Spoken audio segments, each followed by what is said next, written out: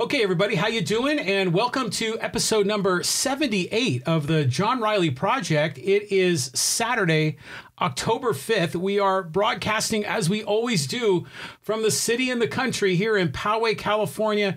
I'm so pleased to have as my guest today Mr. David Leland. How are you? All right, great to see you. We're gonna do a Padres 2019, you know, season in review. Uh, look at the future ahead. I, I, this is going to be a great discussion. Yeah, we got a lot to talk, a lot, a lot to talk about today. Right on. So, um, man, so the season. Well, we're in the playoffs now. We've already had the tiebreakers. We're in the, the really the divisional series. This. When was the last game? The 30th. The regular season game was, I think, September 30th, wasn't it? 29th, so 29th, the, the 29th? last Sunday, yeah. Okay, so that was the final game. Did you go to any of the games uh, near the end? Well, the last series was in Arizona. Yes. And but did you go to the series before that against the Dodgers at home? Uh, no, but I did go to the Friday night game uh, against the Diamondbacks, the home series. Okay, great. On the 22nd. Okay. Which has which is actually a pretty significant game, which we'll get into later. Right on. Okay, so, um, well, let's just uh, kind of break it down. I mean, where do you want to start? All right, so I just want to start by breaking down the season. You know, the 11 5 start, you know, it was fun. You know, we were winning all those close games, but I was like, we got to start playing better. This because the way we're winning games now, that's not sustainable. And I figured, you know, with the way offense, you know, kind of dies at Petco in April, you know, with the marine layer, especially this year, it was cold and wet like into June this year. Yeah. And so I figured, you know, the offense will pick up, you know, we can keep winning games. And then the rest of this, after that, it was really a roller coaster for much of the season. You know, we'd go on a on a losing streak or cold stretch, and then we'd win a bunch and then lose a bunch. And it was just up and down. And then Tatis got hurt, and then shortly after that, lost a couple series. And then after that, I think the team just completely went in the tank. Oh, September was brutal. I mean, I think I checked at one time they were like five wins and fifteen or twenty losses. Ended at seven and twenty. Seven and twenty. Jeez, that's just that's a. I mean, it's no wonder the Green got ejected. You know, the, the team just went downhill at the very end. I mean, that's the big thing. I think the team quit on Andy Green, and that's why I think he's gone. I mean, you you heard the first time I was on here my complaints about Andy Green, so I thought his firing was well warranted. Like I said, I went to that Friday the 22nd game, mm-hmm. which turned out to be his last game as manager. That was the game where they didn't call Jones out when he started to peel off so Machado didn't go to tag him, and then Green went out to argue the call, but not really. He didn't even get really argue or get ejected, and then he got booed for that. And then the next, then he brought in a bunch of the bad pitchers who got shelled, the game got out of reach, and it was just so ugly that we know Ron Fowler that he was. they, Heads are going to roll. You know, they can say all they can say all they want about how um, we wanted to do this now to get a jump on like mm-hmm. interviewing candidates or whatever. I think I think they were gonna fire him at the end of the year, but I think that firing him when they did was accelerated by Fowler saying, "Oh, that was such a terrible game. We gotta get him out of here now." well, it's like when. Uh, when uh, James Shields blew up, right, and then Fowler went off, and then then they dealt him, right? You yeah. Know? So unbelievable. So um, yeah, the you know the beginning of the season was so promising. April was like we were feeling good in April, weren't we? Yeah, we really were. I mean, this was the first year since 2010 that we were 500 at the end of April or better. Yeah, it was amazing. And then yeah, and then May is when Tatis, you know, strained his hamstring. Yeah. And then May was a little sketchy. Yeah. And June sketchy to begin with, and it mm. had a nice run at the end. Oh yeah, after the comebacks in Denver, they went on a real nice hot streak there to end the month. Yeah, and then finished the All Star break at 500. We're feeling good, right? Yeah. You know, and and Tatis was uh, healthy and he was back. And or was he back by that time? Yes, he was. Yeah, yeah, yeah, he was back. Yeah. Um, and then we came out of the All Star break, and what the hell happened? Well, coming out of the All Star break, you know, we lost you know, some close games coming out of the All Star break. You figure, oh, that happens. You know, we can turn some of those into wins. But I mean, when you have a bad manager who keeps, like we did, who keeps putting in the wrong guys or writing the wrong lineups, and like they were losing those close games, I was like, how are we losing these close games? So I went on Baseball Reference or MLB.com, forget which one it was, and I was looking at the stats of like what Reyes when we still had him and what Hosmer were doing, in like different spots in the order. Like he had Hosmer in the two hole and Reyes in the four hole when their stats were both of them were much better in the opposite place. So it's just like we had a manager out there who was supposed to be this stats guy whose lineups went against stats that a random guy like me can go on baseball reference and look up. well, do you think Do you think that Green independently made all those choices about the lineup, or do you think Preller and the front office was influencing him? I mean, this could be Preller just throwing Green under the bus after firing him, but Preller did say in his post game, um, not post game, like the post firing Green interviews that like he had a lot of autonomy over like the lineup and like decisions made in game. Mm-hmm. So it's not like the Mets where the owner flat out says, "Yeah, I told the manager to do that." but yeah, that was just I, I I going into the season, my expectations were modest. I was hoping for a 500 or close to it, and then we I was feeling good in April, even feeling good at the All Star break, and I think I got my hopes up, and then I got crushed. I mean. Washington St. Louis, they're both playing in the division series right now. We had a better record than both of them at the end of June, so Unbelievable. We had reason to be optimistic. Those Yeah. two teams are still playing right now in the division series, and we had a better record than both of them at the end of June, and we won the season series against both of them. Amazing.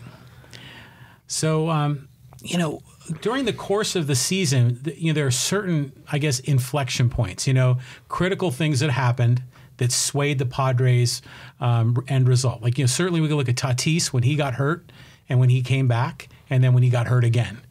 But what about some of the trades along the uh, along the the continuum? Do you think the trades destroyed, you know, maybe some of the chemistry on the team or undermined the team in any way? It's a popular thing for people on Twitter to be like, "Oh, look what happened when they trade Reyes. They lost their clubhouse guy, and look, they went in the tank after that." I mean, that's easy to say, but you look at the first. It wasn't a big. It wasn't a very big sample size, but they played. Excuse me, 10, 11 games after Reyes got traded um, to when Tatis got hurt, and they were a good offensive team in that short span. And you know, like I said on the the first time I was on here, why I th- didn't think Reyes was a long term fit here. So Yeah, that, I mean, I think looking back at that trade, I, I think that was actually a, a good move by the Padres. They had the logjam in the outfield.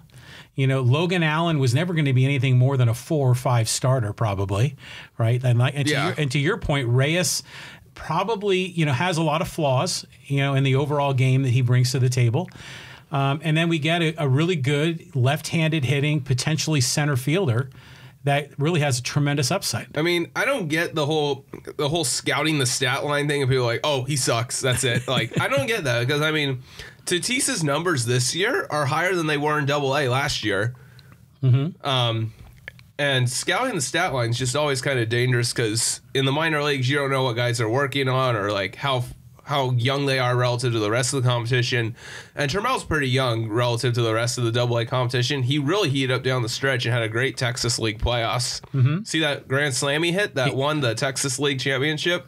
I. I didn't see that one. No.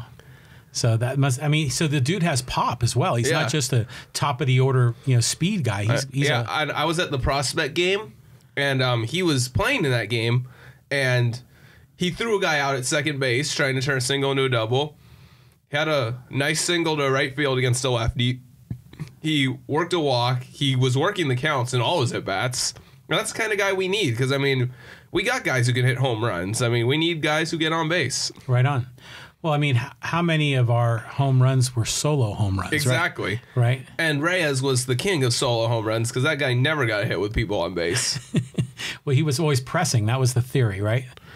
I he- guess he so. Either that, or he just can't with people on base. I don't know, or he tries to be the hero. Yeah, that's what it seemed. You know, maybe it was a little bit of hero ball with him. Um, but what did you think overall of Machado? The signing of Machado, his performance throughout the year. Do you think it's a it turned out to be as good as we had hoped? I mean, if you just look at the stats, you'd say no. But I mean, when's the last time we've had a guy, you know, thirty plus home runs playing the defense that he played? And th- an interesting thing that I want to mention about Machado is that a lot of guys don't perform their best in year one of a big contract. You know, new team, you know, new city, new ballpark, new environment, and you got the added pressure. And we really saw that in April with him. But if you look at his stats May through July, and I don't have him in front of me, but he hit over 290. I believe his on base was near 360, and the slugging percentage was, I believe, over 600 for that three month span from Wow. May through July. Right on. And I mean, that's the kind of player we're going to get. And then August and September, I wouldn't read anything into that. Same with Hosmer, which we can get into later. Um, those guys just they quit on Andy Green. They don't because it, it was pretty obvious by the interviews with him and Hosmer and even Wil Myers that those guys they didn't respect him. And like once Tatis went down, and there was like no reason to really for them to try anymore, I guess, or put or not necessarily not try, but you know like not go all out. Be like if they lose, oh well, whatever, because they just like we 'cause quit on they- this guy. They they they knew it was um, like you know it was developmental, right? It was that devel- developmental shit, you know, that uh, Strom talked about in some of his interviews. Yeah. Right.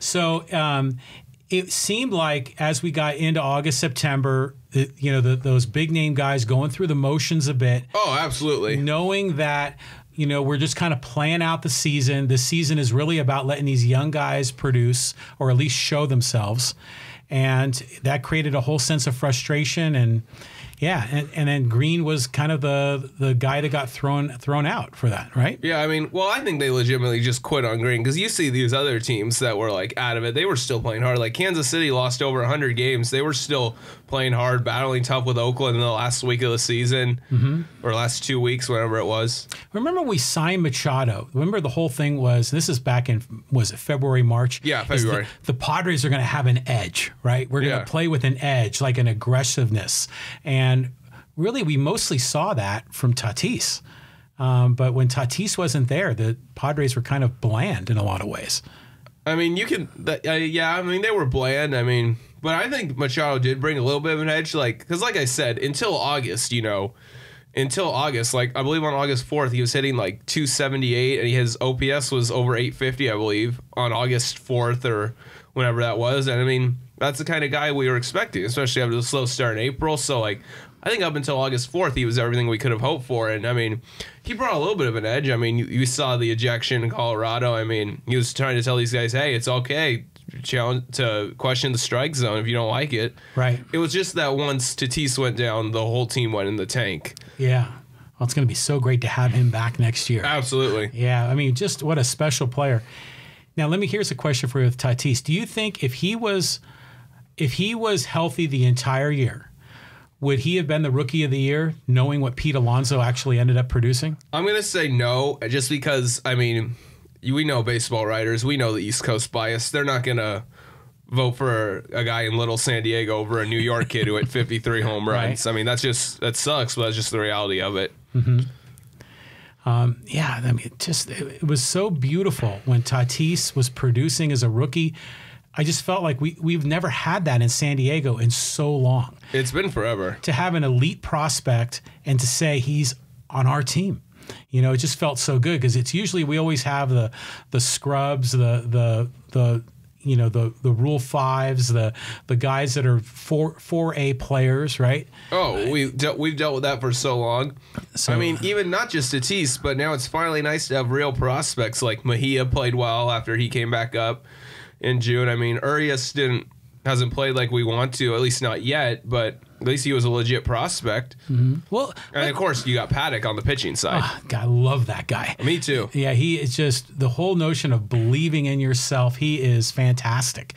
Um, you know, and he had, you know, he learned a lot. You know, he was a, he was throwing, and then he learned to pitch, and he made that adjustment, and he was even better at the end. So, what a guy! I know. I mean, he he would have shattered this the single season record for most strikeouts by a rookie pitcher if not for the innings limit. I mean, he was only three short. Really, Yeah. only 3 Mm-hmm. Who holds who holds the record? You know?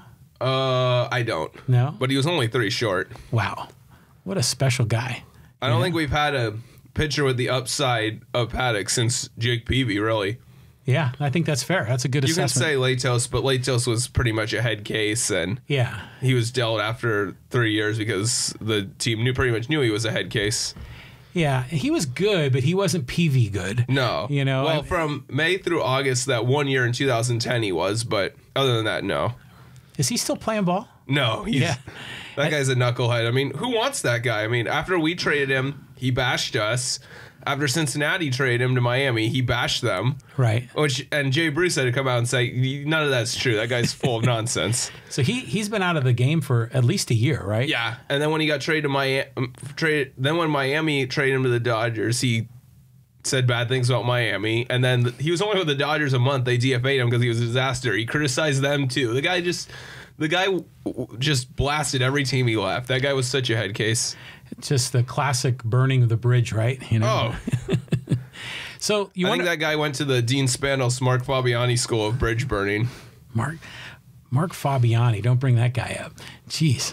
Um, you want to break down the roster? You want to go Yeah. through it? Yeah. So where do you want to start? Let's start with manager because we got to have a guy to lead these guys. Right. So thankfully, Andy Green's gone. You know how I feel about him. We talked about that. Right. You are not a fan of Andy Green. What definitely was not. right.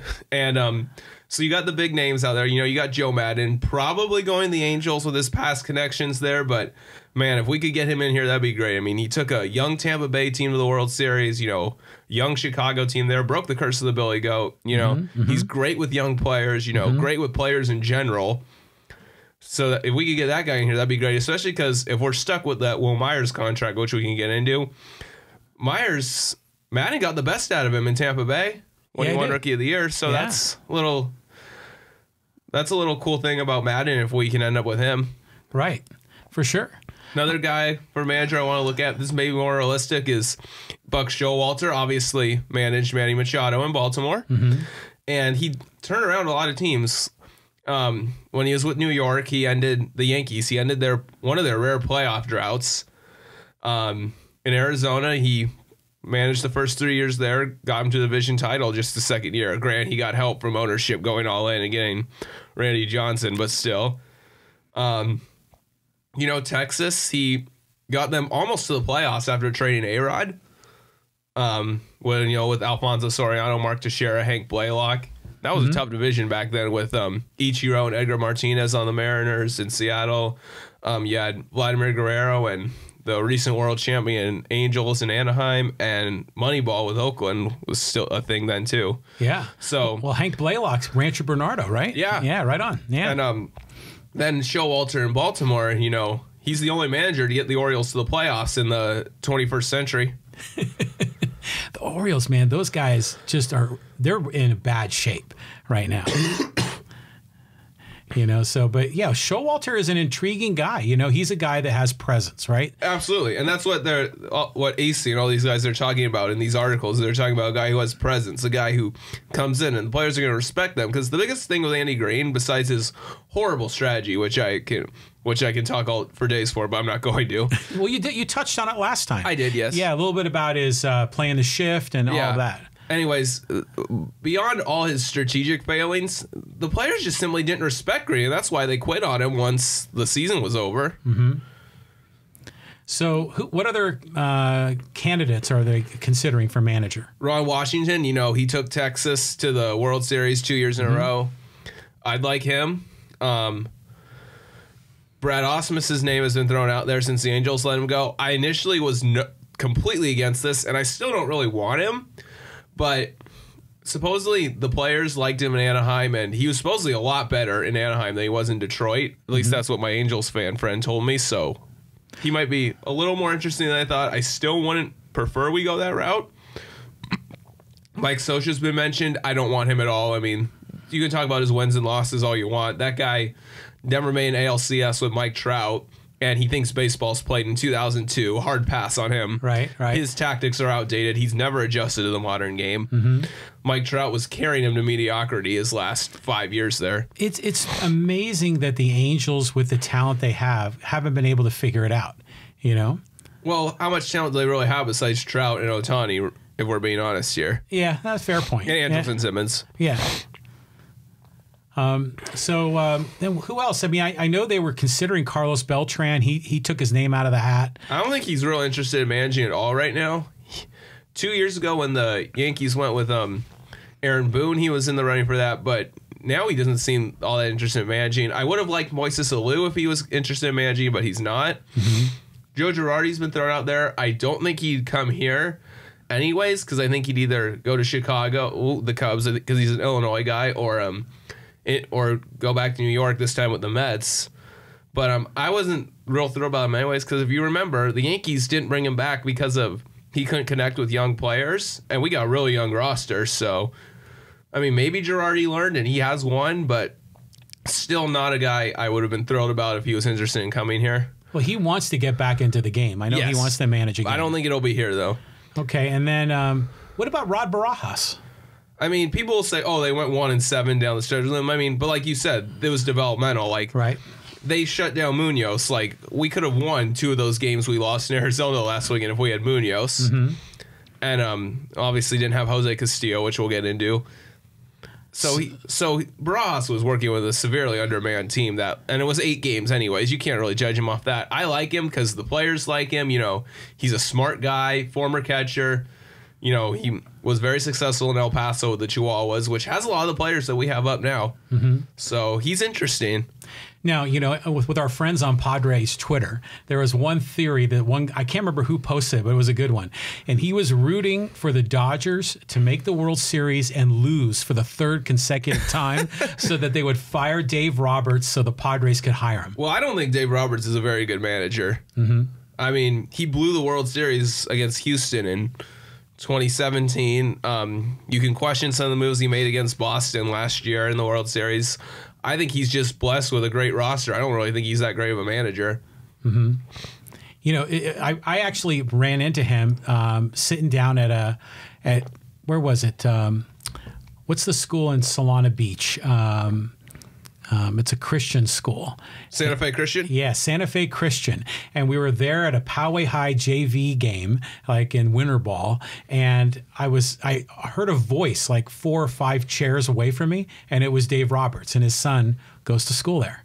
And um, it was, he was a nice guy, you know, so I got a chance just to say Well, that's hello. why our media likes him because our media is soft and they like nice guys. I mean, Bud Black could do no wrong when he was the manager because he was a nice guy. right. He's had a little more success with Colorado. Well, not this year, but the previous last Well, he, couple of well, he got in the wild card game the last two years, so. so, um, and he- I didn't like him when he was our manager here, but he's a heck of a lot better than Andy Green. yeah, it's interesting looking back on that. Yeah, he, he Because I was not a fan of him as our manager, but he's a lot better than Andy Green. Well, what about um, any dark horse candidates you think uh, might be considered? Um, I don't know. I mean, because AC made it sound like they're going for an experienced guy, so a dark horse to me would qualify as like you know a Josh Bard or a Phil Nevin. You know, like a former player that's coaching right now, and it just it just doesn't seem like we're gonna go that route to me. I mean, I know obviously I'd love to see Poway Phil Nevin. You know, wouldn't that be great? And, and Well, I don't know if he's ever managed. Well, he's managed in the minor leagues before. I don't know how good of a manager he would be, but one thing for sure is he'd sure bring intensity, yeah, he would. He and that's kind of what this team needs a little bit. He'd have You a know, little kick in the ass sometimes. yes. Presence, playing with an edge, all of that, and a great guy. Uh, got a chance to meet him and his family, um, and he's he did have success, I think, with the Reno Aces. Yes, he won. Uh, I believe 2014. He won the Pacific Coast League with them. Yeah. But you know, I think I don't think management would ever go for hiring another rookie manager. Yeah, that's what I was saying. Like Yeah. AC's writing all this stuff about how they're looking for a guy who's managed before. Right. And cuz cuz even if they even if they did go for a rookie manager, they would just be having to defend that decision over and over again. So And we just saw that with Andy Green. Like, and we haven't actually hired a manager who's had previous experience at the time of his hiring since, um, I believe Jack McKeon in the 80s. holy crap. That was the last time we hired a guy who had previously managed at that point. Well, yeah, god damn. Because Bochy had never managed when we hired him as manager. And then we had Black and Who had never had, managed. and then we had Green. Yes. So, um, yeah, and who who were the guys before that? It was, um, Befo- that was before my time. So yeah, I can't remember all the names, but yeah, McKeon was our general manager, and then he was the manager, it right? was Dick Williams, then somebody else, then McKeon, I think. okay, and where did McKeon manage before that? I'm not sure. He, well, he's a long time baseball Yeah. guy. Yeah, but that's amazing. Actually, that you, I never really thought of that. So yeah, it would be nice. You know, we we're bringing in you know top name free agents. Yeah. Let's Might bring as well in a- bring in a big name manager. Yeah, exactly. I mean, even Brad Ausmus, like that, that doesn't excite me. But you know, maybe it sounds like in Anaheim, he was dealt a tough hand there. I mean, you know, they didn't have a great, they had a pretty bad rotation. You know, then Tyler Skaggs' death happened, and then you know they had a bunch of injuries down the stretch. So to say last year, what happened this year in Anaheim, that's not on Ausmus. And I heard from one of my friends who's an Angel fan that he was actually much better than he was in Detroit. And God, that can happen with managers. Like, like I'm not like vouching for Ausmus here. Like he's not my top choice by any means, but I mean, Tony La Russa failed in Chicago with the White Sox. Then look what he did in Oakland and St. Louis. Oh yeah. I So mean, you can get better as you go. I mean, maybe Ausmus can do that. He seems like a smart guy, but still nowhere near the top of my list. I mean, if we're assuming Maddon goes to Anaheim here, then Buck Showalter's at the top of my list. yeah, and and you know, yeah, there there are a lot of guys that their first gig managing they struggle. Like look at Bill Belichick. You know, he sucked with the Browns. You know. Well, he's the last Browns coach to win a playoff game, so oh. how bad did he really suck? Oh. okay, there. Okay, He there won a go. playoff game with the Browns. That's All always a minor miracle. Well, he did a little better with the New England Patriots. Well, he was sub 500 in Cleveland, so actually you're Yeah. right. I was joking about I- like the Browns not winning, but I, I, I kind of got yeah. All right, right on. So yeah, so Maddon number one choice. If not Maddon, then Showalter. Yes. that's what you'd like to see. You feeling the same way? Experienced I, guy. I think I think so. Yeah, I mean, I think especially um, I like your rationale about Maddon maybe having the secret sauce for Wil Myers. Um, I think that's good. I think Maddon is a bold manager, a risk taking manager. and he's gonna have his guys back. Like it seemed like Andy Green like didn't re- wouldn't really fight for his team. Like even when um that interference call that Bill Welke called on Machado, like and know Green got ejected arguing that, but you know he, he's not tough about it. Like he's just out there like. Because he has to be basically like like that was when he spit on the umpire and apologized to him for it. Like screw that man. Like go out there and fight for your team. right, exactly. You think Lou Piniella ever apologized? Lou Piniella. Lou Piniella, did, wasn't, didn't he like pick up one of the bases and throw it one time? Yeah. Can never picture Andy Green doing that. No. All right, so let's say you know it's Maddon or Showalter. You know that'd be a great way to get started. Do you Absolutely. think? Do you think they retain any of the coaches? That's an interesting point. Um, if they're going to hire an experienced manager, I would sure hope that they let the um, that the new manager pick out his coaching staff. And the only coaches that I would spare are Schumaker and Balsley. Every other coach can go as far as I care. And even Balsley can be replaced, in my opinion. I mean, he's kind of an old school pitching coach. So if they bring in some guy who's like worked under like whatever secrets who's worked in Houston like in their minor leagues like maybe he knows some of the secret stuff that stuff that Houston uses on every pitcher that comes in like if you can find an analytic guy like that to replace Balsley because Balsley seems really old school that's fine by me but I would spare uh, Schumaker and Balsley or at least consider them to be spared Well, a lot of people like Schumaker. I Uh, do too yeah. Yeah, but can you imagine if the Padres front office fired Glenn Hoffman? That would be uh, pretty heavy, wouldn't it? I mean Glenn's a good guy but I mean how long has he been here I mean that's not a lot of people seem a little sentimental to him because he's been here for so long. I'm not really. He took over third base for Flannery, right? Yes, I don't even think he's that bad of a third base coach. I just think you know we could move on. Yeah, He's been here a while, a new voice. yeah, right on. And now you can argue the same thing for Balsley, although Balsley's earned a lot of leeway with what he's done with a lot of pitchers, like Kirby Yates and Brad Hand the last couple of years. And then, um, yeah, then God knows who they hire as their hitting coach. That's the worst job in professional sports, the hitting coach for the Padres. That job is more dangerous than defense against the dark arts teacher in Harry Potter. yeah, it's brutal, man. That, it's it's that's a tough gig. All right, so let's go through the roster, the the players. So, yeah, I mean, um, it doesn't want- matter who they hire as manager; they don't get better players.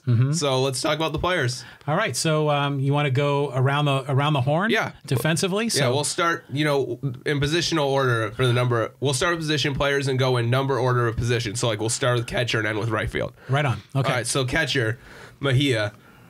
Um, I I talked. I think I touched about it briefly on the first time I was on here about the whole thing where I don't believe his ERA versus Hedges ERA is a valid comparison because Hedges caught you know April May when it's harder to hit at Petco and we were getting fluke starts from Strahm and Margevicius. Right. Yeah, Mark Gavich's. Okay, yeah. We'll get into okay, him yeah. when we get to the pitchers. Um, yeah, I mean, I thought Mejia improved a lot defensively, Mm-hmm. and he hit after he came back up. Uh, he was great hitting. Yeah. Yeah, he d- he still could be a little more patient, but I mean, he can hit. He can hit. He can hit a double down the line. He's got some pop.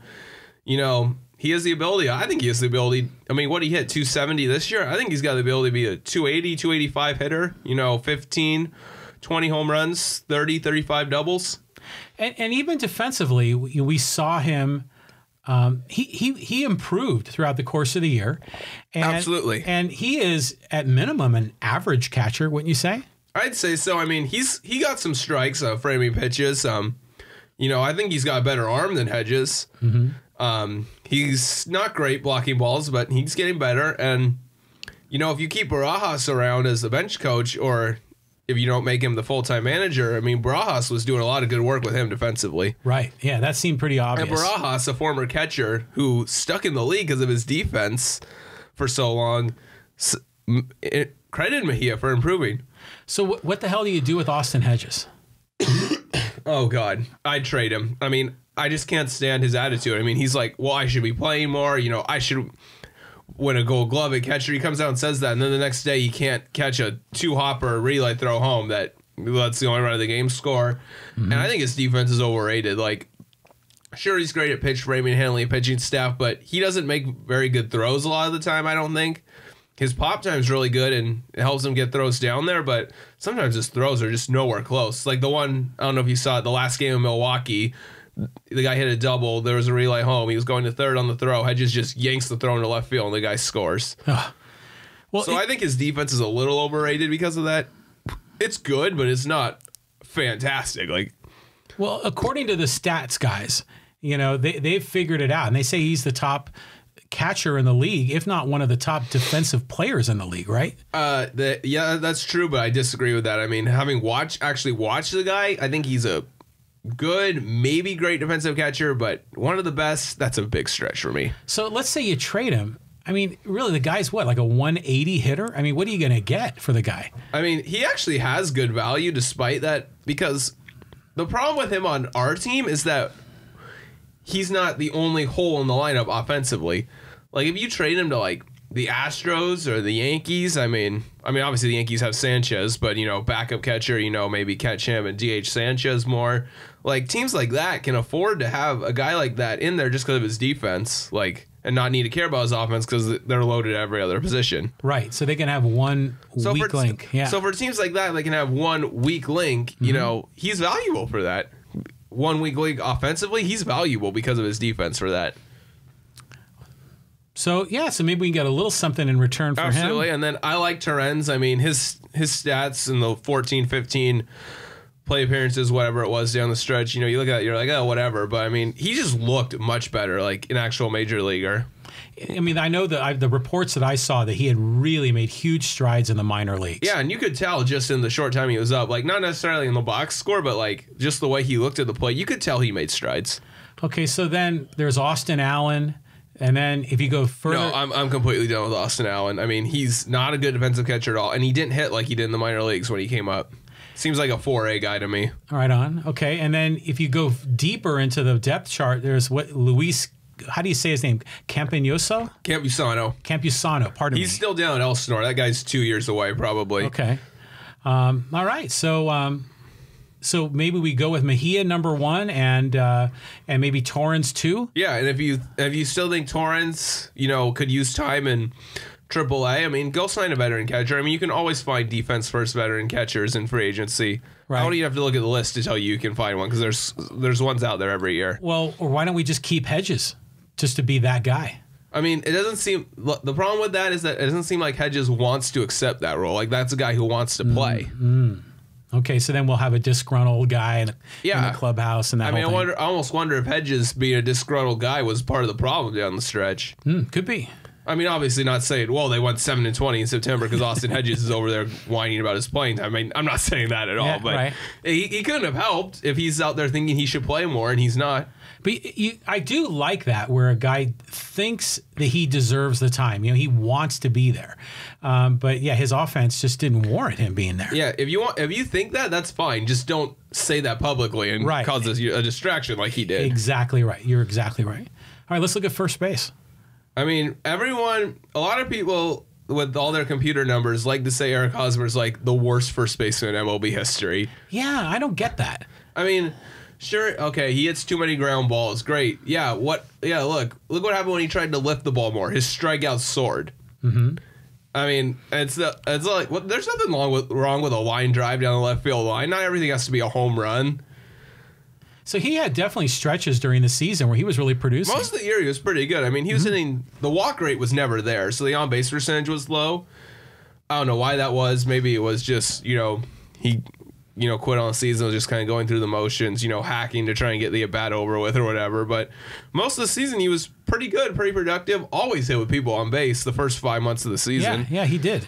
And really good going the other way. The only the, only- the biggest problem I have with Hosmer is not in his offense because it was good for five months and then you know he quit and uh, he quit on Andy Green in September and the numbers tanked, so that's not a worry for me going forward. September in general, I'm just gonna put this out right now. That seven and 20 you saw any individual report in September, I don't take into account any of that going forward. It means nothing to me because I just think they quit on the manager Right. and didn't have their spark plug, so that that that means nothing to me going forward. Now, some some of the fans think we should trade Hosmer. Well, he's got a no, a partial no trade through next year. That's the problem. Why I don't see it happening. Right. And it's a big contract. Yeah. Yeah. And you know, all these computer teams with how their fan graphs value contracts would never take that guy. Would never take him, even though I don't think he's that bad. Now, the one thing is his defense was awful this year. That's the only major complaint I have about him is his defense. His defense was completely terrible this year. So what's up with that? I mean, he's a former Gold Glove guy, right? The fact that he has not one, not two, not three, but four of them makes me question the Gold Glove award. Really? Or maybe the competition in the American League just wasn't there. I mean, the American League is pretty bad for first baseman right now. I mean, Daniel Vogelbach was an all-star first baseman this year. I mean, in the American League. I mean, the competition over there is not very good. I mean, you look at all the guys who are the best right now. I'd say Goldschmidt and um, Goldschmidt, Rizzo, and Freeman are probably the best in the game right now. Those are all NL guys. And then other guys like Joey Votto, who were in as in recent up until the last year or two, were considered one of the best first basemen. All those guys were in the NL. You know, when Pujols was good, he was in the NL with uh, St. Louis. Um, and then obviously Goldschmidt was, you know, always in the NL with Arizona and St. Louis. And, then And, so- and, you know, Bellinger played a lot of first. yes, yes. And uh, Uh, Brandon Belt was good a couple years ago. And He's then not really good who's anymore. the guy for the Pirates? Is it Bell? Josh Bell. He plays first, doesn't yes, he? he does. Um, So, so, yeah. Uh, anyways, yeah, the competition in the AL prob- for first base just isn't that good for like a Gold Glove award. So maybe that's why you won it, kind of like by default. Maybe. Mm-hmm. It's like Keith Moreland over there, you know? It's a different different thing. Anyways, Yeah. yeah. I mean, I just don't. It's not like as bad as it was this year. I don't know what happened this year. I mean, I just think overall the defense and like the focus level was bad because you know we didn't have a manager that was like on these guys' asses. You know, Right. so I think in general some of them just look like concentration errors, which you know. If that's the case, that can be fixed. You know, if we get a manager that's going to come in here and kick these guys' asses and be like, "Okay, focus up, guys." Right. Yeah, exactly. But I mean, some of them, like, he's not scooping balls, you know, he's missing easy ones, you know, he's not getting the balls, you know, some making bad decisions on this is one I think that a new manager could fix too is like there's no like because it's kind of a discipline thing, it's just like recklessly throwing to bases. Like when he's got no shot getting the guy, he should just take the out. Well, he did that a few times when they laid down a sack bunt, and he would try to get the force at second base. Oh, and, yeah. and then the ball would go out to into the outfield. Or isn't that's actually how uh, um, Tatis got hurt? Well, that it? was a pitcher throwing to a base. It was a pitcher. It was me. Matt Wisler, yeah. Um, But um, you know, Hos- Hosmer did that a number of times, where he would throw to the to try to get the lead runner, and that's a tough you know out to get. Yeah. Well, a lot of times he'd throw it, and you know it wouldn't be a bad throw, but the guy would be safe. It's like, why are you throwing that ball? Yeah, take the out. They're giving it to you. Yeah. All right, let's move around the diamond. Second base. That's that's going to be a big decision for the organization. Yeah, I mean, Urias, he hasn't lived up to the expectations yet. You can make the argument, well, they didn't play him in April, and I, w- I was defending him then because they didn't give him a fair shot in April. Like they sent him down to AAA, then they brought him up only to have him split time with Kinsler. That had to destroy his confidence. Kinsler. And then, um, you know, he hit pretty well for a while after coming back up. Then he kind of struggled again. He was kind of up and down the rest of the way. I mean, I don't know. I mean, if you can fill your other needs, in which I think is mostly the outfield, right. if you can get if you can fill fill some holes in the outfield, I think you can live with um trying to give Urias another chance if you fill in the holes in the outfield because he still has it in him. But I mean, if you're gonna trade him for an ace, which we can get into as part of the package for an ace, I mean.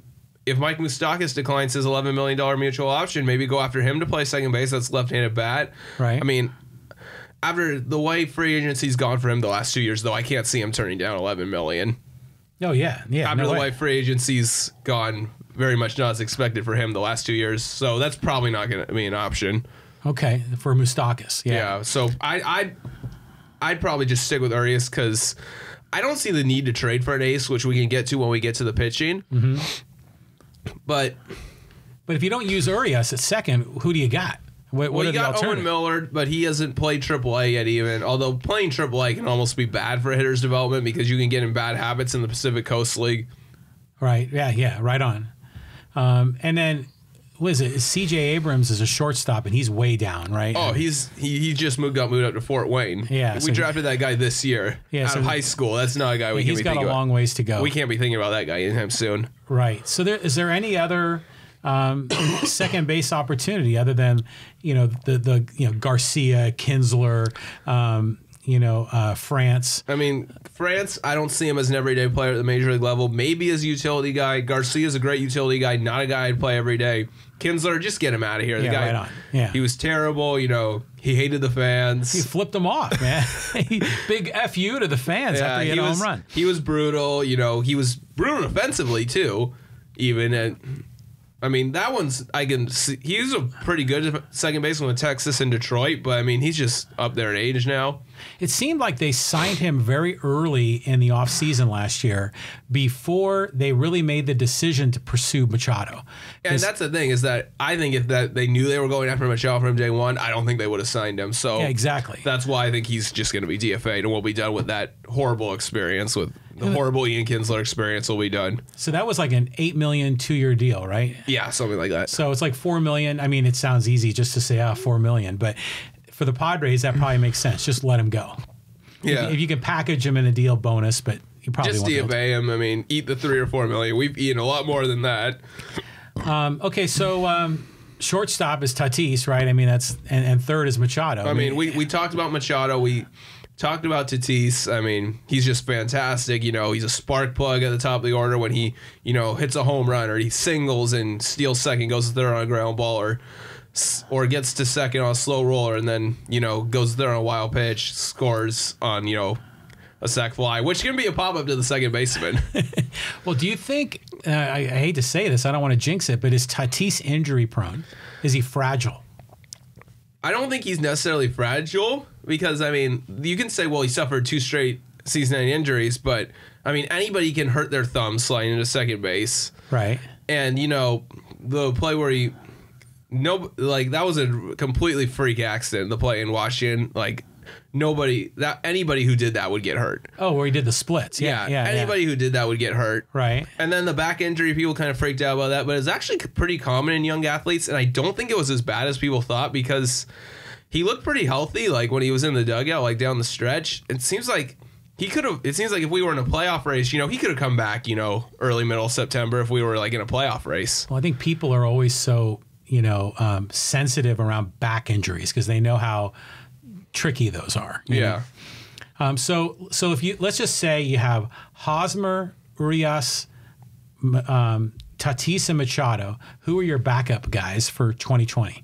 Well, Garcia can be in that discussion. Garcia should be there. France can be in that discussion. Um, you know, those two guys. And then, um, you know, Mejias-Brean, even, he was a lot better than I thought he would be. Maybe he can be a guy who goes up and down between AAA and the MLB if, you know, like somebody gets hurt. Yeah, how old is he? Like 27, 28. Yeah, he's not a youngster. No, but he's a guy who can, you know, shuttle between AAA and the MLB and give you some, you know, a week or two or a month in the MLB while somebody's hurt. You know, not a guy you want on the roster full time, but maybe a guy who's passable off the bench for a couple of weeks. Yeah, I, I didn't really know much about him. Neither did I. him You know, so it just seems like it was maybe his turn. You know, to Yeah. get a to get a cup of coffee, right? Yeah. But yeah, he showed something. You know, so yeah, so maybe he could be a guy too. All right, now let's have some fun. Let's go to the outfield. you want to start in left? Yeah. I guess I'll start with Wil Myers. All right, here we go. This is going to be an interesting one. I've talked about the poor timing of that extension. We talked about that the first time I was on here. The extension looks completely terrible now. I mean, you got three years for thirty million for a guy who, for being honest here, he hasn't been good since the first half of 2016. Mm-hmm. And I don't know. So many people on Twitter still love this guy, still defend him. They're like, "Oh, well, they moved him off first base in the outfield, and that messed with him." It's like, Yeah. look at 2017. He hit like 222 with runners in scoring position and set the franchise record for strikeouts. And he was playing first base then all year long. So I don't get that excuse. I don't get why people make that excuse. You know, players, especially in today's game, move around a lot. I mean, look at the Dodger lineup. Those guys are like interchangeable pieces. Yeah, it doesn't affect their hitting. Doesn't No. affect Ketel Marte in Arizona. No. Doesn't affect those guys. So. no. Yeah. I mean, anybody who makes that excuse, it's like that's how you play baseball. They're like, "Oh well, poor Will, leave him alone in left Yeah. field, let him focus on." It's like, man, this is baseball in 2019. You got guys moving all over the place. right, exactly. Tell Marte, you know, second base, shortstop, center field. Bellinger, center field, right field, first base. You know, Max Muncy, second base, first base, third base. so, you know, but Fowler's done with him, right? Yeah, I mean, he said he'd eat, you know, 10, 15 million to get rid of him. And the, the way you look, the when you think of that initially, you're like, oh, we're paying him 10, 15 million, not playing our team anymore. I mean, that's still getting, you know, if you're getting, that's still getting 45, 50 million off the books the next three years, even if you're eating 10, 15 million. So when you think about it that way, you're like, okay, there's something. Right. So maybe you take Myers and uh, maybe a prospect or two, package them, eat some money, and then get maybe another prospect back. Sure, yeah. Yeah, something like that. I mean, I don't know if they're going to do that. It sounds like they're going to try to do that. We'll see what happens. I hope they're able to pull it off just because you can't count on him. Like, he'll have spurts where he lives up. I've said this, and I've said this before. Like, if he wanted, if he had, you know, the heart, you know, if his head was in it, you know, he could be the third best position player on the team after Manny Machado and Fernando Tatis Jr. Like, Right. he has that kind of talent, you know, the swing, you know, the athleticism, but he just doesn't put it together. I don't know if he's does it if he's lazy or if he's a head case or what the deal is, but he just can't put it together.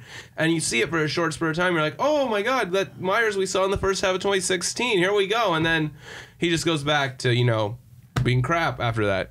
It's like Chase Headley when he had that one great half of a season. Oh, you know? absolutely. Um, but I know I root for Myers too, and Well, I root for anybody who's on the Padres because I want them to help the team win. I even Oh, yeah. wanted Andy Green to become a better manager because that would help the team win. But Yeah. I mean, I root for guys on the Padres to do good because it helps the team. But for Myers, he just he can't put it together, yeah, he can't. I, I, I think and I don't think I think we should be done counting on him for right. that. I think well, it's all part of that developmental bullshit, right? Yeah. So I think we got to turn the page and go with someone that's proven. I mean, yeah, I mean, we can talk about you know guys like the Padres can trade for almost anybody they want because of how good the farm system is. Mm-hmm. Now, I'm not saying they're gonna give. I would give up the farm for Mike Trout. I wouldn't do that because that's one. Because I mean, we're seeing in Anaheim right now that he can't do it alone, and we need more guys than that. So, I wouldn't do necessarily that and have like no farm and just get one guy. But if you're um but I mean, if you're AJ Preller, you got a lot of trade chips out there. I mean, you talk you see Boston, you know, talking about how they how it would be hard for them to keep JD Martinez and Mookie Betts on the same roster. Mm-hmm. But maybe if they do, maybe they have to trade Andrew Benintendi. I don't know. That would be a guy, you know, there was some rumors about that at the deadline. I don't know how true that was, but Boston looks like they're going to have to retool and you know, they got rid of Dombrowski just like Detroit did when they wanted to retool. And you know, so maybe uh, when they retool, maybe you can get Andrew Benintendi. You know, that's the guy we need. You know, he's an outfielder, which we need. Left-handed bat, doesn't suck defensively. He's athletic. He's pretty young. I mean, that's the guy I would look at a trade if Boston's really gonna go say we're gonna have to retool. He's available. If Boston makes him available, I'm going to get an Andrew Benintendi. Yeah, and he's a highly touted young guy. I mean, he's been- Absolutely. I mean, he was the number one prospect in baseball. What three, four years ago? So we'll trade him for the other former number one prospect in baseball, Wil Myers. I mean, I don't. I know you're joking, but I Yeah. mean that would just make no sense for Boston because they're, they're trying yeah. to get under the luxury tax, right. And Myers would be a huge number against that. right. I mean, what could happen though is maybe you see, you know, a Wil Myers David Price swap Yeah, actually, that's a pretty good move right there. because I believe Price is making more money per year over the next couple of years than Myers is. So maybe a Myers David Price swap we could be talking. Right. I mean, that's something that I could see. What about Chris Sale? No, I wouldn't go for Chris Sale. I mean, his arm issues kind of worry me, especially for not not a real big guy, and he's had some arm issues the last couple years. So there's a lot of potential uh, landing spots for Myers. Um, let's move over to center field. So what do you think we should do over there?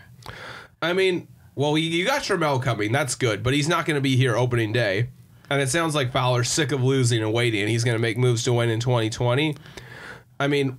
Margot, you know, he hits against lefties. That's awesome. He hits against left-hand pitchers. That's great. Against a righty, nope, doesn't do it. So maybe just, I don't know, find like a left-handed bat. You know, maybe a guy, somebody, even a righty with reverse splits. Um, I don't know, somebody you can hit right-handed pitchers and have him out there against righties with Margot against lefties until Trammell comes up, and then when Trammell comes up, he becomes a fourth outfielder. That's the kind of guy I'd look at center field.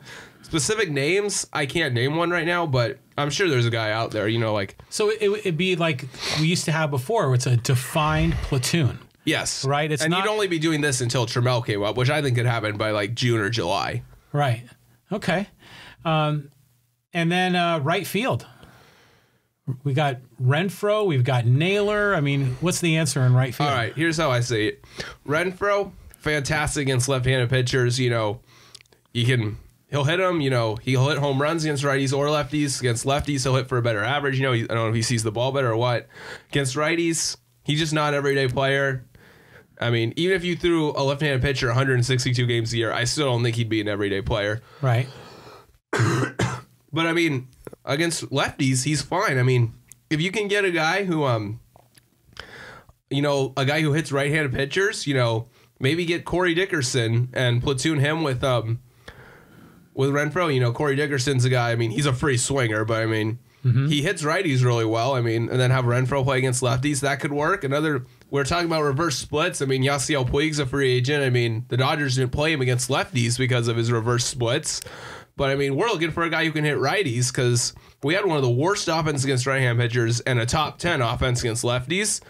So What, we're really? yeah. I, I didn't know that. So we're looking for you know guys who can hit right-handed pitchers, and you know Puig's a reverse splits guy, and normally teams think of reverse splits guys to be a negative, but a reverse splits guy like Puig would be a positive for us. So reverse splits means like a right-handed hitter that hits right-handed pitching better Yes. left-handed pitching. Or a left or a lefty who hits left-handed pitchers better than righties, which Okay. it, that seems a, that doesn't seem common to begin with, but it seems a lot more common for righties than lefties. yeah, I was going to say it's something of a unicorn. I mean, that's a pretty rare thing, isn't it? Yeah.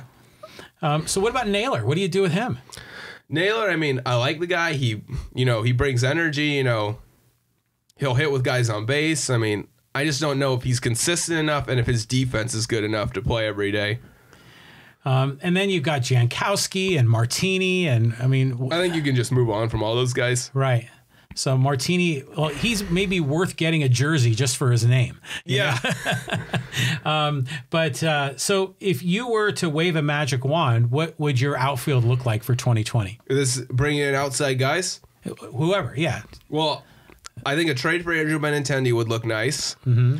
I mean, Pittsburgh's kind of a mess right now, so I'd try and get Starling Marte away from them. Mm-hmm. You know, that's your center fielder until um, you know, Mar until Trammell comes up. Right. And then, you know, right field, you have a Dickerson Renfroe platoon. And then again, when Trammell comes up, you can move Marte over to left, Benintendi to right, or put Marte in right, whatever, and just have Dickerson and Renfroe both off the bench. So pretty much wipe the slate clean. I Yeah. mean, you know, none of the guys are really the answer. I mean, I like the infield and I like Mejia at catcher, but I'd, I'd wipe the cle- I'd wipe the slate clean for center field. Well, it's Or, interesting. I mean, not center field, outfield. the sorry. whole outfield. Yes. going into the season, we thought we had an abundance of I know, that's outfield the- resources. That's the funny thing is that we came into this with like the outfield, like that's going to be our strength. You know, we have how are we going to play all these guys, and now we're at the position where like we're going to wipe the slate clean. I want all new ones. So, Unbelievable. so I'd start the season with Benintendi in left, uh, trade for him from Boston, um, Marte in center, trade for him from Pittsburgh, and then sign Corey Dickerson, platoon him with Renfroe and right, and then when Trammell comes up, you put you know, him in center, and then, you know, Marte in right or Marte in left, Benintendi going over to right. Either one doesn't matter to me. Mm-hmm. And that's where I go from there for that the outfield. Okay. Infield, I like I like the infield. Like I'm willing to give Urias a shot. And you know, if he doesn't work in 2020, you got Owen Miller, and then Xavier Edwards behind him. So I'm willing to give Urias a shot for 2020. And then I like obviously Machado and Tatis, and I don't think Hosmer totally sucks. I actually think he's somewhat productive. And then you got Mejia at catcher, who I like. So uh, the outfield would be my big focus. Right. Exactly. Okay. Um, so now that brings us to the pitching staff. And you know you've, you've hinted about it. Maybe we need to sign a um, you know a big name guy. We or maybe we need to trade for a big name guy. Here's how I feel about the pitching. It feels like a common thing on Padres Twitter is like, what ace are we gonna get? How are we gonna get that ace for pitching. Like it's like, and to me that's the wrong thinking. It's like we need bats in the outfield, which we just talked about. Pitching wise, you're looking pretty good. And here's what I'm saying: this. I mean, you got Paddack next year; he's not going to be on an innings limit. You got Nelson Lamet and Garrett Richards, another year removed from Tommy John surgery. And Lamet looked fantastic after his first couple starts, which Yeah. is basically what which is basically what Richards had when, when he was up. That's basically like the first couple starts back, which are always going to be rough, like they were for Lamet. But after that, Lamet was pretty good. Yeah. So I think Richards will be good next year if he can stay healthy. I mean, I mean, you got Mackenzie Gore and Luis Patino, two of the best pitching prospects in baseball coming. And while I do think we're going to trade prospects this winter, I don't see it being those two. I think those two are basically untouchable. Agreed. But they, those guys won't be on the opening day roster. No. they? Yeah. I'd say Gore, May, June, Patino a little after that because Gore came up a little sooner than Patino did. So what about A? what about all the other guys that have been in our starting rotation? You know, um, Lucchesi, right, Lauer. Lucchesi. I mean, who do you keep any of those guys? I like Lucchesi. I mean, I think he's a good. I think he's a. I think he's a plenty good enough fifth starter on a competitive team. Um, you know, he's pretty good at Petco. You know, sometimes he gets beat up a little on the road, or if he goes through the order a third time, well, hopefully we have a manager and deep enough bullpen, manager smart enough and a deep enough bullpen to not ha- need him a third time through. We'll get into the bullpen later. I'm actually kind of optimistic about that. Lauer, I mean, he just that's just not it as a starter for me. I mean, maybe as a reliever when he could, you know, attack the zone and increase his velocity consistently, he'd be good. I think he'd be good out of the bullpen as a starter. Just not a fan. Is he like Robbie Erlin, just another lefty that Yeah. not Yeah, Yeah. yeah. So, um, so who else started? We talked about Margevicius. Oh, uh, he's he's got to go. I mean, he was a fluke that he had a little Yeah. bit of success originally. Yeah, and then you know people are like, "Oh, this is a lefty throwing straight 89 mile an hour fastballs," and Yeah. then that was it for him. Mm-hmm. And then who else started for the Padres this year? Strahm, he'll be in the bullpen. I mean, Yeah. Strahm's you know the classic you know reliever they tried to make a starter that didn't work. Mm-hmm. And then anyone else get a start for the for the Padres? Well, we talked about you know obviously Paddack, Richards. Well, there was a couple of young guys that got starts, right? That they brought up. Pedro Avila, I this is a real shame because I really liked what he had.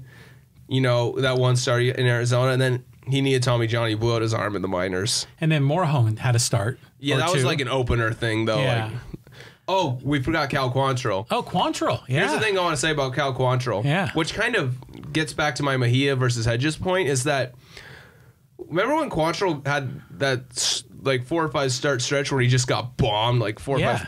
Guess who was catching him then? Austin Hedges. Really? And he was doing great when Mejia was catching him. So what are all the Hedges fanboys who are like, well, Mejia can't handle his stuff? Where are they now on that? Where are they now on that Where one? are the Hedges fanboys? Yeah, where are they now that Mejia was way better for Quantrill? And I believe Paddack had a better ERA with Mejia too, catching actually. So is Quantrill a starter? Uh, yeah, I think I'd, I'd be fine with Quantrill as a starter or Okay. a reliever, either one. Although I think he's a real good candidate to get traded this winter. Okay, so um, so what's so what's your ideal opening day five man rotation? All right, so let's just say that we do make that Myers um, price swap. Okay. Let's say it's I don't know Myers and three prospects to Boston for Benintendi and Price.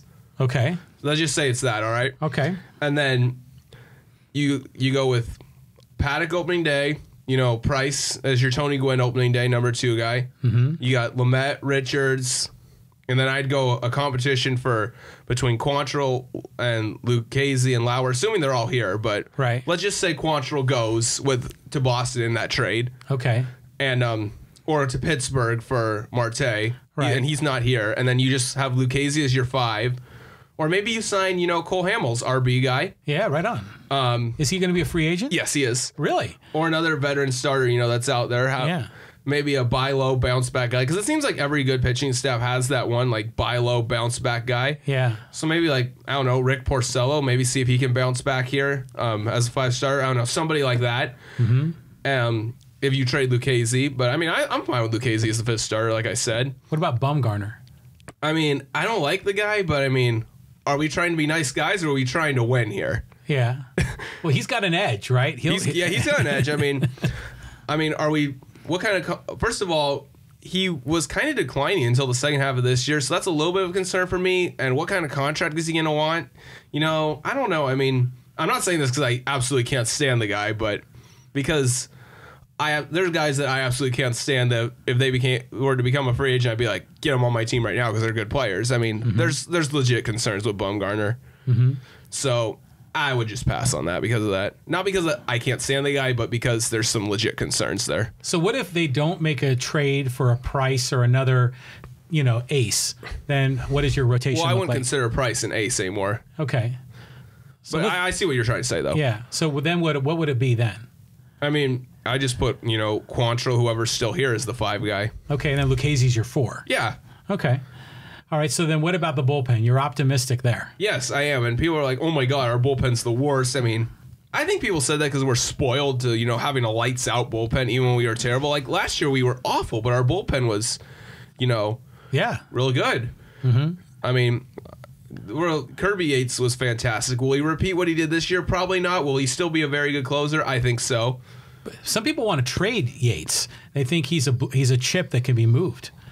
I mean, if you can, if you're confident that Munoz can close, then you could think about it. I wouldn't do it though. Okay. Um, and then you know Munoz setup man.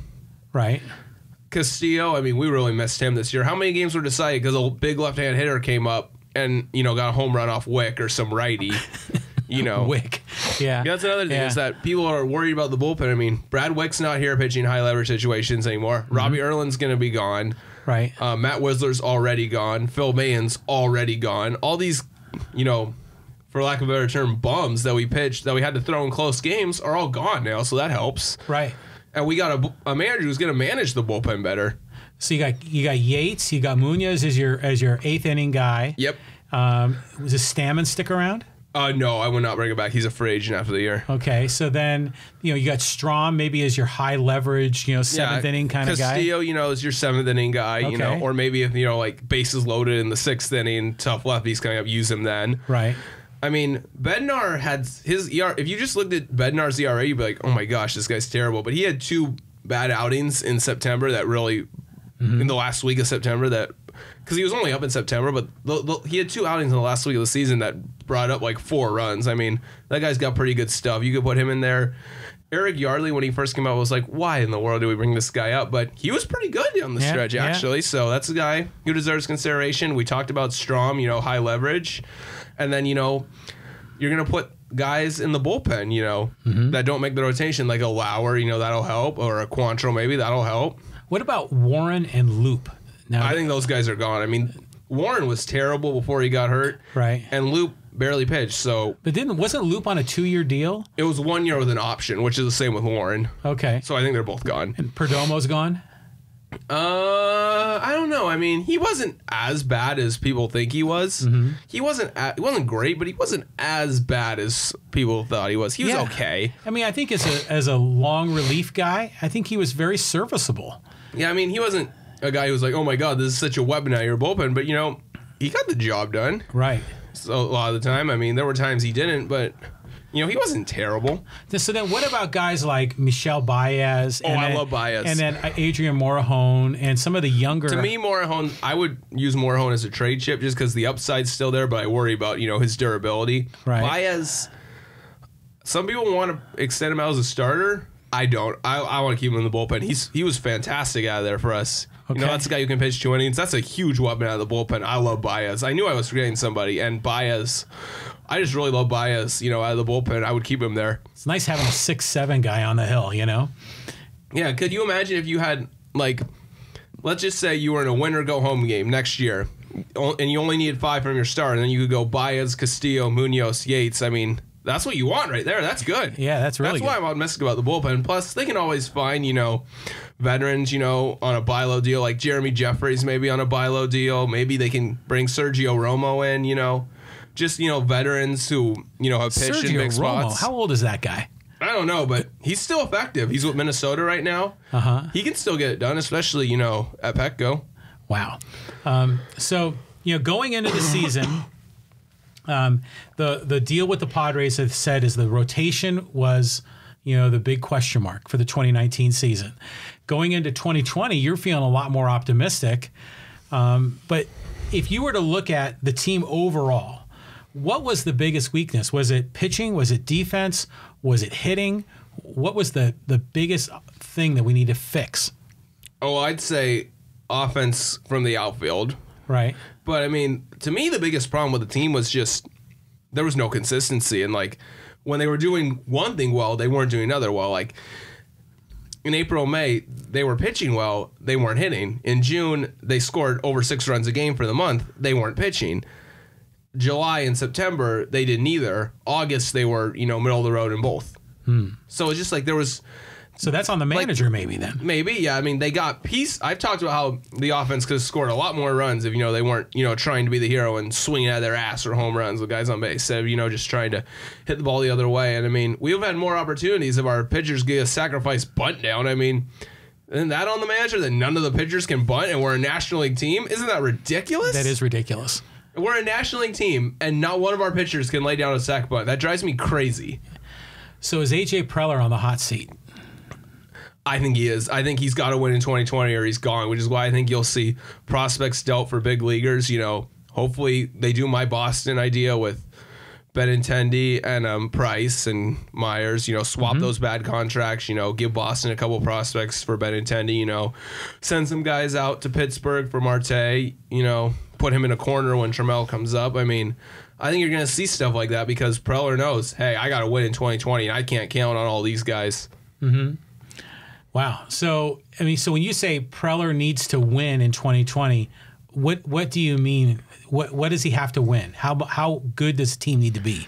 I'd say playing meaningful baseball in September. Otherwise, he's gone. Wow. And I mean, this scares a lot of people that you could have flat, giving them flashbacks to, you know, 2014, 2015 off season when we made all those trades. It didn't work out and then we had to start over. I don't worry about that. Like, I think something similar to that's going to happen, but I don't worry about the result going bad like it did then because we're, be- we're better set up then. We got a deeper minor league system, much deeper. And look at that 2014 roster. Did we have any building blocks on that 2014 MLB roster? No. Maybe Tyson Ross, maybe? Yeah, maybe. But I mean, look what we got now. We got Paddack, we got Tatis, we got Machado. I mean, we got you know Trammell's coming, Gore's coming, Patino's coming. I mean, Urias still has a chance. Mejia looks good. I mean, we're, we're in a much better spot MLB roster and farm system wise than we were in 2014. And that feels weird saying because we won 77 games in 2014, only won 70 this year. But hey, that's another reflection on Andy Green and how poor of a job I think he did. Right. Yeah. I mean, Preller gets a lot of heat for some of the bad moves, And but he but he has made so many more good moves. I mean, he's made mistakes. There's no doubt, but I think he's done a lot more good than bad. You know when it was interesting is when the Padres had the new ownership came in with Fowler. Yes. And I loved their process originally. They said we're going to hire a president.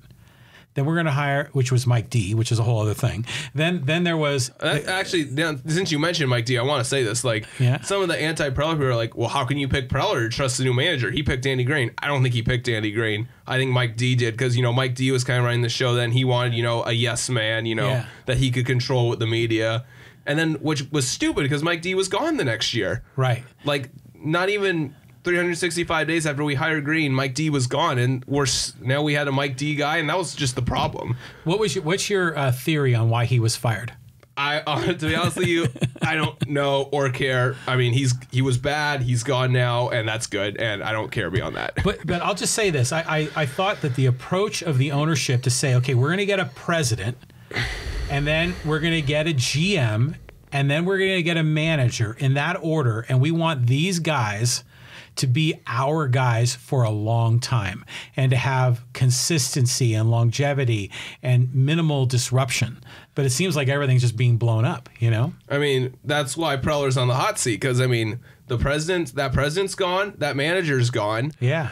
and who's left? AJ Preller. I mean, and if he doesn't win, you know, this next year, you know, play meaningful games in September, you know. When you see like the bottom line on ESPN, you know, last two weeks of September, like who's still in the wild card race within striking distance, you don't see the Padres on there. I mean, he's gone. I mean, because like you said, that president's gone, that manager's gone, Preller's the only one left. So it's like, hey man, you got to show something now. So now we're kind of we're talking about the president, which means we're getting a little bit beyond baseball itself. So, what what are your thoughts on the uniforms that are coming? I'm excited for. it. I mean, Yeah. I mean, how many teams have blue in their color scheme? Oh, like half the teams. And plus, we're the San Diego Padres. I mean, what color is the Friars' robes? right, brown, exactly. Mm-hmm. I said I'm fired up. I'm like a marketing guy. I love all the branding and just embrace. This is the right up brown. your alley. Yeah, embrace the brown, and uh, you know have a unique look. Be special in your own way. And I'll say that some of the fans' renderings of potential uniforms that I saw on Padres Twitter, those are really good I mean, I love the idea of the pinstripe brown. I love with the grays. absolutely. Yeah, that's a good look. I only have two requests for the uniforms. One, it's got to have. I mean, I've seen some marketing with like the Friar, you know, logo.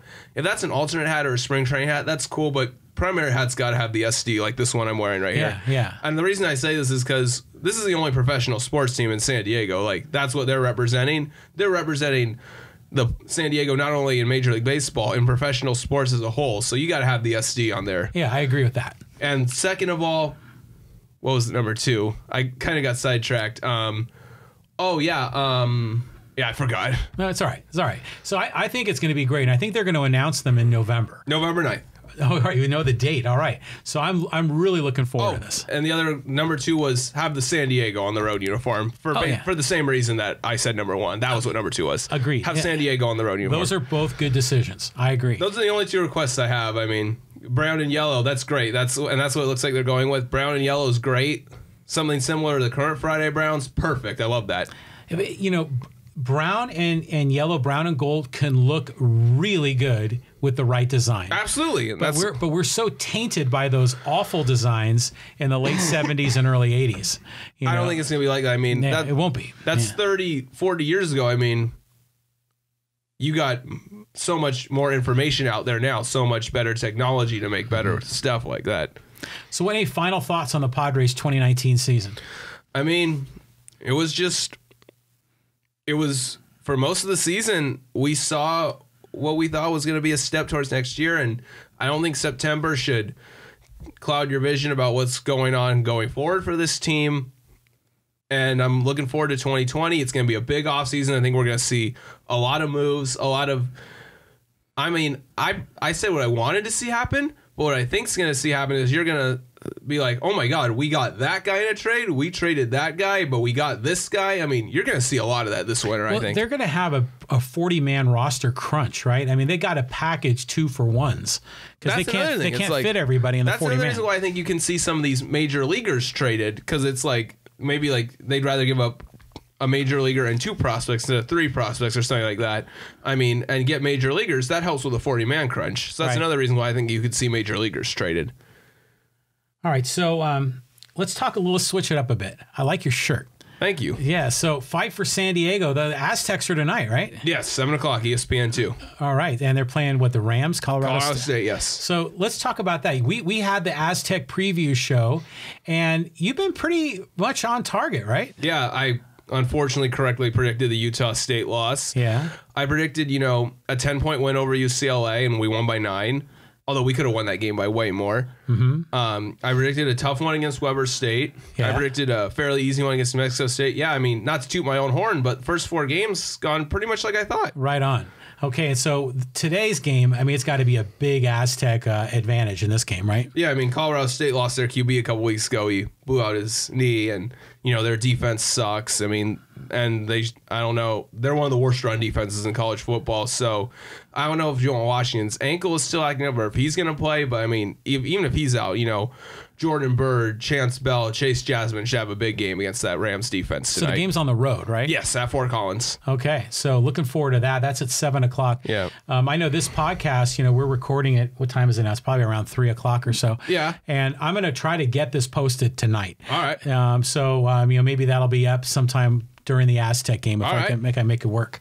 Um, hey, what what about the MLB playoffs? What are your thoughts on that this year? Um, I don't think anybody's going to beat the Astros. I mean, the Yankees have a chance, but I think the real World Series for the Astros is can they get past the Yankees in the ALCS? Because I don't see Tampa Bay having any chance against Houston. I don't see Minnesota having much of a chance. I mean, when we started recording this, it was one nothing Yankees in the first, and the Yankees won last night. So I just think the biggest obstacle for the Astros is the Yankees in the ALCS Right. to the World Series.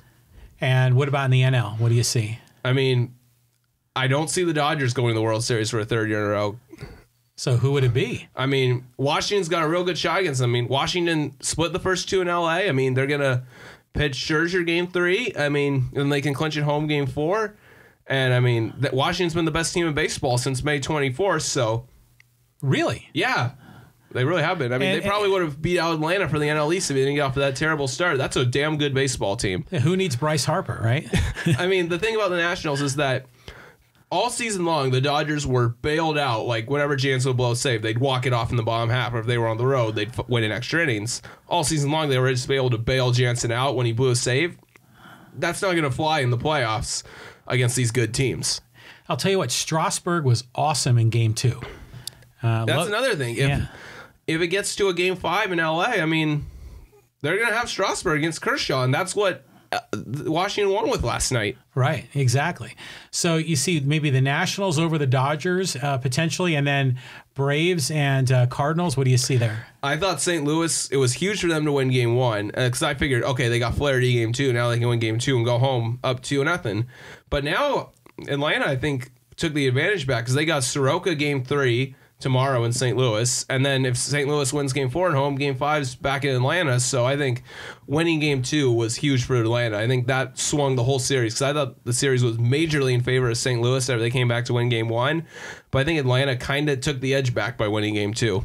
So you just said Soroka. That's another Rookie of the Year candidate, Yes. right? So who do you like, him or or uh, the Mets first baseman. Oh? Alonso's gonna win. I mean, Yeah. they're not gonna. They're it's they're not gonna snub a New York guy who hit 53 home runs. There's just no way. No way. So so um so what what do you see as the uh, NL Championship Series outcome and the AL Championship Series? I mean, at this point, I think Washington's gonna beat the Dodgers now. At this Yeah. point, and then yeah, Washington will beat you know Atlanta, and then Washington will lose to Houston in the World Series. So a wild card team making it all the way to the, the World Series. Yeah, I mean, we're no stranger to that. I mean, we saw in 2014 it was two wild card teams playing each other in the World Series, which was kind of crazy, but. Yeah. you know, I mean, and then you saw the Cardinals won the World Series as a wild card 2011, and then um, Tampa, Tampa Bay wasn't a wild card. Um, Colorado was 07, Right. and then Boston, you know, broke the curse in 04 as a wild card. Was it was Colorado 07 when Holliday didn't touch the plate? yes, I'm glad you mentioned that he didn't touch the plate because he didn't. Yeah. Ah, that's still bitter. That was 12 years ago. That was one of the worst sports losses I've ever had, Oh. and I'm still not. I'm still mad about it. 12 years later. Yeah, well, you should be. And you're a hometown San Diego guy, which I love. Um, all right, well, we're wrapping it up here. I mean, any other final closing thoughts here? I mean, hold on to your seatbelts, ladies and gentlemen. This offseason is going to be fun. I'll just say that. Yeah, and really, they can't really sign a manager or make deals until after the World Series, right? Actually, that's not correct. They just MLB doesn't want it to undermine. So like the World Series or playoffs. So like they'd hire him. I don't know, like in between like the LCS and the World Series, or in between days in the World Series. Like they announced the Andy Green hiring um in, on the travel day between games two and three in 2015. Okay. Um, but the trades won't be until after, right? No, the trades. I mean, because you still got teams in the playoffs, so Right. You got that. That obviously has to wait until um after the World Series. So that might be like winter meetings, maybe early December. We might Yeah. start to see a little movement. yeah, yeah, right. I'd say so. All right. Well, David, thanks, man. This is always great. Yeah, thanks for having me. I love having you. You're my go-to guy for sports, especially San Diego sports.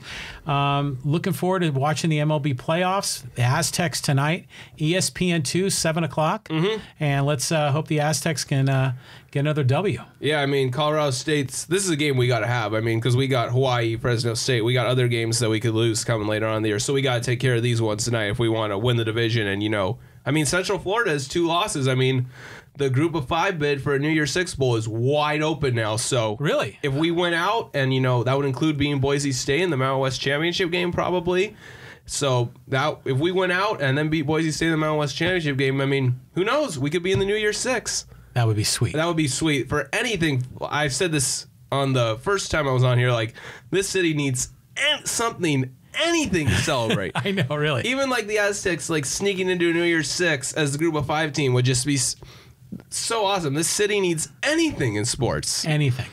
Yeah. So let's go get something. I mean, when the MLB playoffs ends in a couple weeks, I mean, you won't you won't see a league that has San Diego associated with it professionally until spring training starts. pretty much. Yeah, exactly. Like And- we are like have because what Dean Spanos and Roger Goodell did to us, they didn't just take our NFL team; they took us. With the way the Padres have been honestly irrelevant since they last made the playoffs, or since 2007, anyways.